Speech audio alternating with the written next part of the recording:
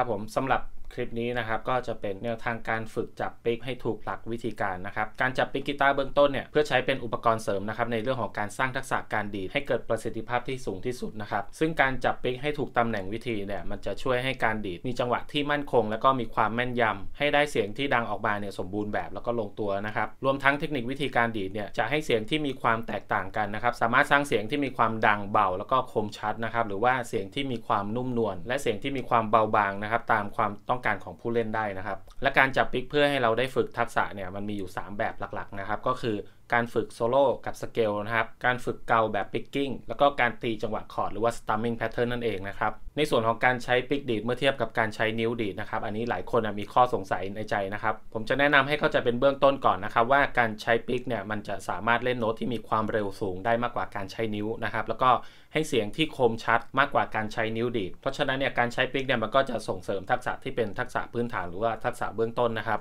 และแน่นอนว่ามีหลาย ๆ คนเนี่ยที่ไม่ชอบใช้ปิกเป็นอุปกรณ์ในการเล่นกีตาร์ด้วยเหตุผลที่แตกต่างกันนะครับ อันนี้เป็นประโยคที่ผมได้ยินบ่อย ๆ นะครับมาจากนักเรียนที่หลาย ๆ คนบอกว่าไม่ชอบใช้ปิกเพราะว่ามันไม่ถนัดไม่ชอบใช้ปิกเพราะว่ามันชอบดิ้นชอบหลุดมืออะไรอย่างนี้นะครับแต่จริง ๆ แล้วเนี่ยในส่วนนั้นนะมันคือปัญหาที่เกิดขึ้นจากการฝึกนั่นเอง และปัญหานี้มันก็จะแก้ไขได้นะครับจากการฝึกด้วยวิธีการที่ถูกต้องถูกหลักถูกวิธี แล้วก็การทำซ้ำๆเพื่อสร้างความถนัดชินนั่นเองนะครับ หากเรามองในแง่ของการสร้างทักษะที่เป็นพื้นฐานเนี่ยการใช้ปิกกีตาร์เพื่อเป็นอุปกรณ์ที่เสริมสร้างทักษะแล้วก็ประสบการณ์ นั้นเป็นสิ่งที่ควรที่จะให้ความสำคัญเป็นอันดับแรก ๆ เลยนะครับสำหรับมือใหม่หรือว่าคนที่เพิ่งเริ่มหัดเล่นกีตาร์เป็นครั้งแรกๆนะครับเพราะมันจะสามารถกระตุ้นแล้วก็ช่วยพัฒนาในเรื่องของการฝึกจังหวะ แล้วก็ส่งเสริมการฝึกในส่วนของต่างๆนะครับโดยเฉพาะการฝึกด้วยนิ้วมือซ้ายนะครับให้สัมพันธ์กับการกดแล้วก็การดีดแล้วก็ การควบคุมจังหวะความช้าความเร็วนั่นเองนะครับแล้วก็ในสิ่งที่สำคัญที่สุดก็คือการเพิ่มกำลังนิ้วมือซ้ายนะครับด้วยการใช้ปิกเนี่ยดีดในสัดส่วนจังหวะที่มีความมั่นคงนั่นเองนะครับแล้วเมื่อเราได้สร้างทักษะพื้นฐานที่เป็นพื้นฐานที่ดีแล้วเนี่ยในอนาคตต่อไปนะครับเราก็จะใช้ทักษะส่วนนี้ต่อยอดหรือว่าปรับเปลี่ยนการดีดเนี่ยเป็นการใช้มือขวา เป็นส่วนของการดีดหรือว่าการสร้างเสียงให้กับกีตาร์นั่นเองนะครับอันนี้ก็จะเป็นในเรื่องของอนาคตนะครับถ้าเราได้พื้นฐานที่ดีแล้วแล้วเราก็ไปต่อยอดต่อจากนั้นก็คือการฝึกใช้มือดีดนั่นเองนะครับเอาละครับผมมาว่าในเรื่องของขนาดของปิกกีตาร์นะครับที่จะใช้ฝึกเป็นเบื้องต้นเนี่ยถ้าให้ผมแนะนำนะครับก็เริ่มจาก 0.4 0.5 0.7เนี่ยใช้เป็น standard ได้เลยนะครับหรือว่าเราจะใช้ปิกที่มันหนากว่านั้นก็ได้นะครับแต่ปิกที่มันมีความหนาเกินที่ผมแนะนำไปเนี่ยมันก็จะทำให้การฝึกเนี่ยมันยากขึ้นเล็กน้อยนะครับเพราะฉะนั้นเนี่ย 0.4 ถึง 0.7 เป็นความหนาที่ประมาณพอดีนะครับผมเอาละครับสำหรับคนที่สนใจอยากจะฝึกจับปิกประคองปิกไปด้วยกันเนี่ยแนะนำให้ตั้งสายกีตาร์ให้ตรงกับแอป tuner ก่อนนะครับแล้วก็เดี๋ยวเรามาดูวิธีการฝึกไปพร้อมๆกันได้เลยนะครับ เอาละครับในส่วนแรกเนี่ยก็คือการจับปิกนั่นเอง standard เป็นพื้นฐานเลยนะครับ จับปิกเราจับด้วย 2 นิ้วชี้กับนิ้วโป้งนะครับ ประกบกันแบบนี้ มาดูลักษณะการจับนิ้วชี้กับนิ้วโป้งก่อนนะครับเอาปิกออกก่อนนะครับลองเอานิ้วโป้งกับนิ้วชี้เนี่ยสัมผัสกันแบบนี้ ถ้ามองในมุมนี้นะครับ นิ้วชี้ทาบลงไปกับนิ้วโป้งนะครับเห็นปลายนิ้วโป้งโผล่มาใช่ไหมครับแล้วเมื่อหงายขึ้นนะครับเราก็จะเห็นปลายนิ้วชี้โผล่ขึ้นมาหน่อยนึงนะครับ มันก็จะคล้ายๆ กับ mini heart เล็ก ๆ นะครับ แบบนี้ เอาละครับหลังจากที่เราเข้าใจตรงนี้แล้วนะครับ ลองทำไปด้วยกันนะครับทำให้ได้แบบนี้ก่อนนะครับ จากนั้นเนี่ยมือที่เราจับปลายปิกอยู่นะครับเอาโคนปิกเนี่ยใส่เข้าไปนะครับ ในขณะที่เราใส่เข้าไปเนี่ยให้เราสังเกตนะครับว่าปลายปิกเนี่ยปรับให้มันอยู่ตรงกับนิ้วชี้แบบนี้นะครับ มันจะเหลื่อมนิ้วชี้ขึ้นมาแบบนี้เห็นด้านบนใช่ไหมครับ มันจะมีพื้นที่ว่าง แต่ส่วนด้านล่างเนี่ยนิ้วชี้มันก็จะโค้งงอลงไปแบบนี้นะครับ เพื่อจับประคองในด้านนี้นะครับเอาละครับการจับแบบนี้เรียกว่าจับแบบ เต็มนิ้วนะครับ เต็มนิ้วก็คือเต็มฝ่านิ้วตรงข้อแรกของเราเนี่ยจับเข้าไปแบบเต็มๆเลยนะครับแบบนี้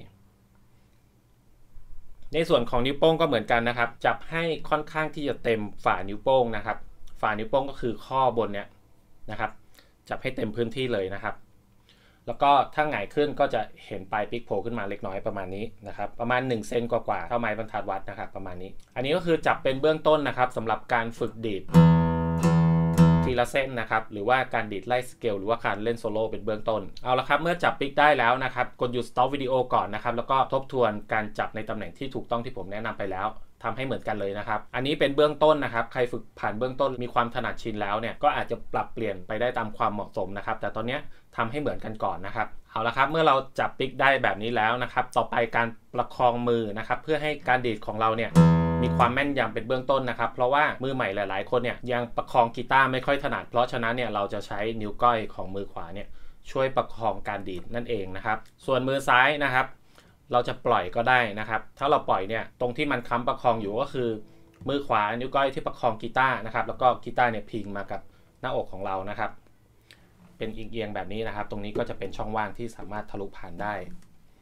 แล้วก็แขนตรงนี้นะครับ วิธีประคองแขนนะครับ ไม่ว่าจะเป็นกีตาร์ตัวเล็กตัวใหญ่เนี่ยให้เราประคองให้สังเกตที่มือนะครับ ให้มันอยู่ตรงกลางของลูซาวโฮนะครับหรือว่าใช้นิ้วก้อยเนี่ยประคองไว้ใต้ลูซาวโฮแบบนี้นะครับตำแหน่งการดีดก็จะอยู่ตรงรูตรงกลางนี้นะครับผมแต่ถ้าใครมีลักษณะเป็นแบบนี้อันนี้ก็คือจะไม่เหมาะสมนะครับ เพราะว่าในอนาคตเนี่ยถ้าเราฝึกดีดตรงเนี้ย เสียงที่มันออกมาจะไม่ใช่เสียงที่สมบูรณ์แบบที่สุดนะครับ เสียงที่ดังสมบูรณ์แบบที่สุดก็คือจะอยู่ตรงนี้ เอาละครับ ถ้าเข้าใจเหตุผลแล้วก็ยอมรับการฝึกนี้ได้นะครับ ประคองให้ถูกตำแหน่งถูกวิธีด้วยนะครับ ทบทวนนะครับที่ผมแนะนำไปก็คือ 2 อย่างนะครับ อย่างที่ 1 ก็คือจับปิกนะครับ นิ้วโป้งกับนิ้วชี้ประกบปิกไว้แบบนี้นะครับ ไม่ต้องบีบแน่นมากนะครับในช่วงแรกๆเนี่ยให้เราจับแค่ประคองให้มันอยู่กับนิ้วก็พอนะครับถ้ามือใครที่มีเหงื่อออกเยอะๆเนี่ยก็เช็ดให้แห้งก่อนนะครับหรือว่าเอาแป้งเนี่ยมาทาไว้ให้มือไม่มีเหงื่อหรือว่ามือไม่หนืดนั่นเองนะครับส่วนที่ 2 ก็คือการใช้นิ้วก้อยประคองนะครับแล้วก็ลองเอาปิกเนี่ยวางไว้ที่สายที่6นะครับส่วนที่ 3 ก็คือเวลาที่เราจะดีดนะครับให้ฝึกดีดลงก่อนนะครับดีดลงก็คือให้เอียงปิกเล็กน้อยนะครับก็คือนิ้วโป้งเนี่ยกดหัวลงแบบนี้นะครับ ไม่ได้กดน้ำหนักลงไปแบบนี้นะครับ หมายถึงว่าเอียงนิ้วโป้งลงแบบนี้ จุดที่จะสังเกตได้นะครับ ชัดเจนก็คือจับปิกเนี่ยไม่บีบไม่เกรงเพราะฉะนั้นเนี่ยนิ้วโป้งมันจะไม่แอนแบบนี้นะครับ ถ้าแอนแบบนี้เมื่อไหร่ก็แสดงว่าเรากำลังกดหรือว่าเกรงนิ้วโป้งอยู่นะครับ ก็คือจับไว้แบบธรรมดาเลยนะครับ ไม่โค้งแบบนี้นะครับ โค้งแบบนี้ก็คือกดเหมือนกันนะครับ ถ้าเราทำนิ้วโค้งแบบนี้ก็คือเรากำลังกดกำลังเกรงนิ้วอยู่ ปล่อยนิ้วธรรมดานะครับ ตอนขณะที่เราจะดีดลงเนี่ย นิ้วโป้งมันจะกดลงแบบนี้นะครับ เพื่อถ่ายน้ำหนักลงไป ให้ปิกเนี่ยไปพักกับสายถัดไป ก็คือการดีดลงเนี่ยอย่าลืมเอียงปิกด้วยนะครับพอเราปรับนิ้วโป้งแบบนี้ปิกมันก็จะเอียงได้มุมตรงนี้นะครับ ใช้มุมปิกตรงนี้นะครับ ดีดลง เสียงมันก็จะออกมาคมชัดใสแล้วก็มีความนุ่มนวลไปด้วยกันนะครับ ในเสียงนั้น แต่ถ้าเราทำปิกแบบแบนๆเอาปิกแปะไว้อย่างนี้เลย อันนี้ไม่เหมาะสมนะครับ เสียงมันจะไม่นุ่มนะครับ แล้วเวลาที่ฝึกดีดให้เร็วพัฒนาความเร็วเนี่ยมันจะติดขัดด้วยนะครับ เพราะฉะนั้นเนี่ยถ้าจับปิกแบนๆแบบนี้มันจะดีดยากนะครับ มันจะดีดลงขึ้นแล้วมันจะสะดุดนั่นเอง ให้เอียงปิกลงมาแบบนี้นะครับ โดยใช้นิ้วโป้งเนี่ยปรับให้มันมาแบบนี้ก่อนนะครับ แต่นิ้วโป้งไม่เก่งนะครับ ไม่เก่งไม่กดนะครับ นิ้วโป้งเนี่ยเราสามารถปรับให้ได้แบบนี้นะครับสองแบบ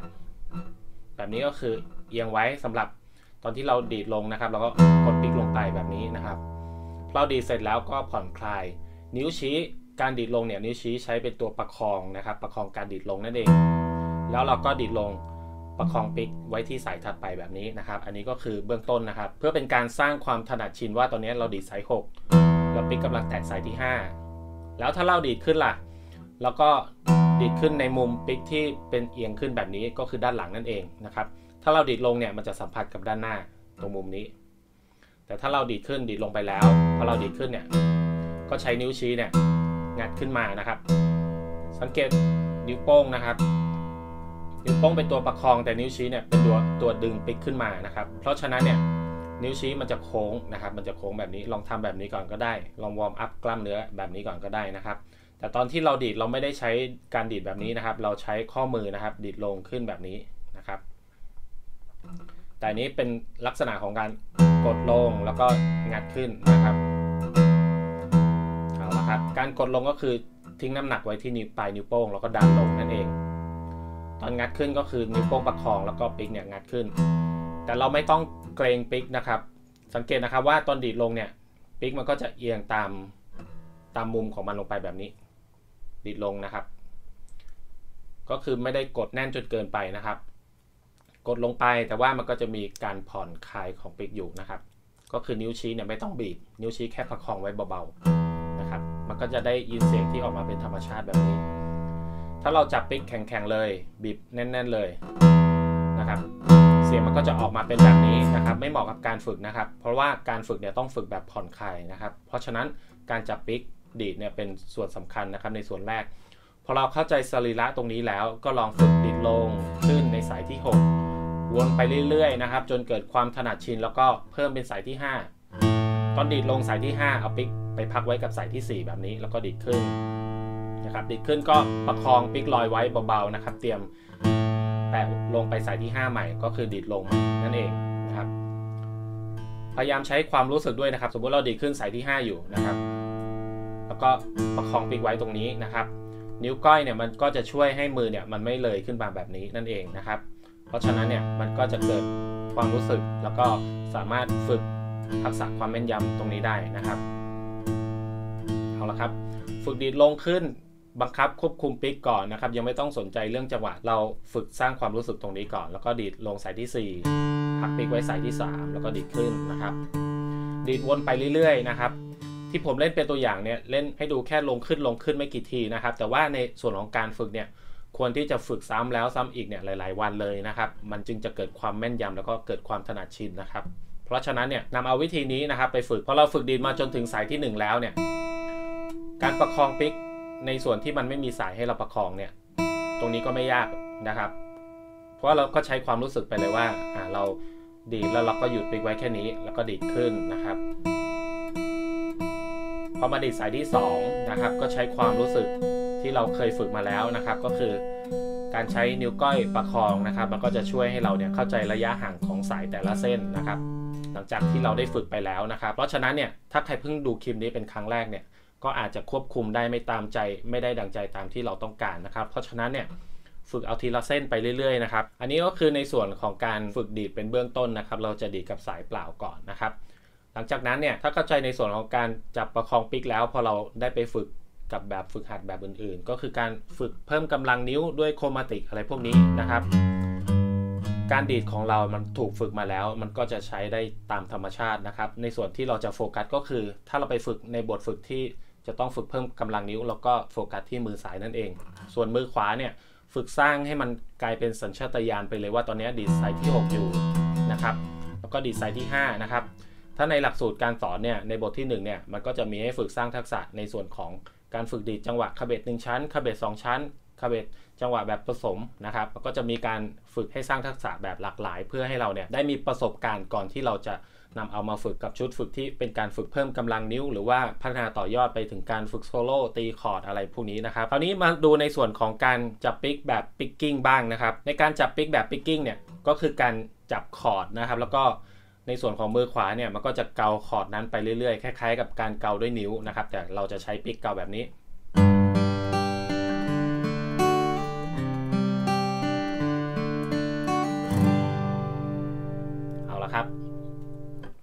เราจะใช้ปิกเกาแบบนี้ได้อย่างแม่นยำเราจะทำได้ยังไง แล้วก็ให้เสียงออกมาได้มีความละมุนแล้วก็ไพเราะแบบนี้ได้อย่างไรนะครับ ในส่วนนี้นะครับก็คือการจับปิกที่ไม่ต้องแน่นมากนะครับ ก็คือไม่ต้องไปบีบมันอย่างที่ผมบอกในส่วนแรกนะครับพอเราเข้าใจวิธีการ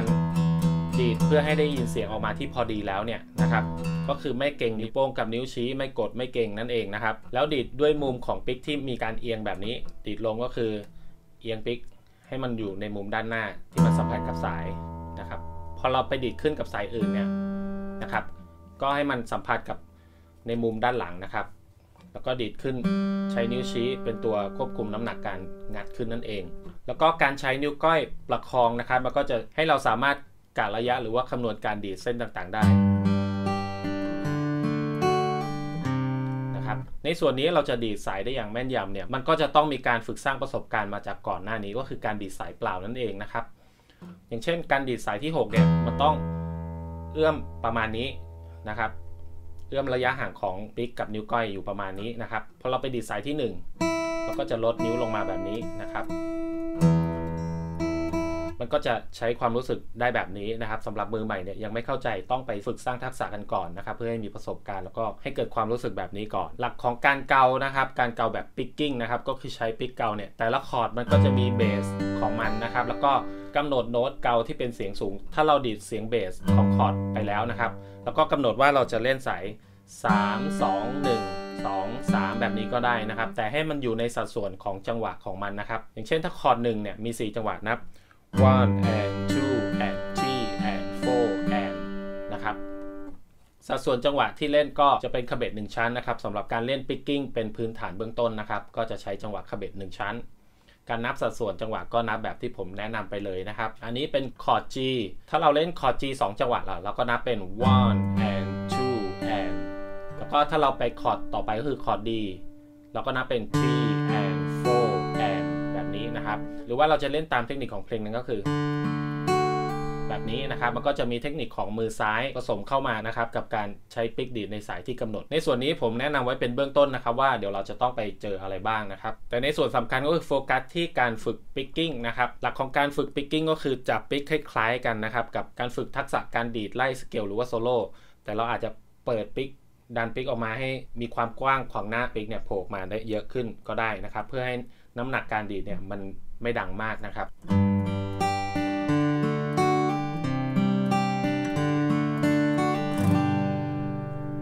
ในส่วนของการฝึก strumming นะครับ เราก็จะสามารถจับปิกให้ปลายปิกเนี่ยโผล่มาเยอะกว่าเดิมก็ได้นะครับ ก็คือจับหมิ่นหมิ่นตรงนี้ แต่ว่าไม่ต้องหมิ่นมากนะครับ เพราะว่าเวลาที่เราตีคอร์ดเร็วๆเนี่ยมันจะดิ้นหลุดออกจากมือนะครับ ในส่วนของการฝึกยังไงไม่ให้ปิกมันหลุดออกจากมือ ในส่วนนี้นะครับ แนะนำได้อย่างเดียวก็คือใช้ความรู้สึกนะครับ ถ้าเราดีดไปแล้วรู้สึกว่าปิกมันจะหลุดเนี่ยให้เราขยับนิ้วโป้งขยับนิ้วชี้อย่างนี้เข้ามาให้ปิกมันกลับมาอยู่ในตำแหน่งของมันที่ถูกต้องนะครับ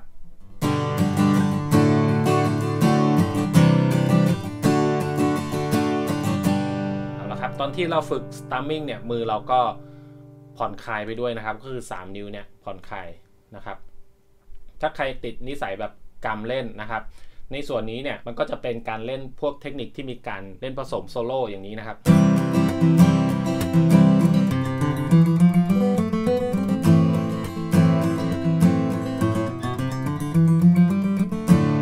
ประมาณนี้นะครับ อันนี้ก็คือการตีคอร์ดไปด้วยแล้วก็โซโล่ไล่สเกลอะไรไปด้วยนะครับ มันก็จะมีผลให้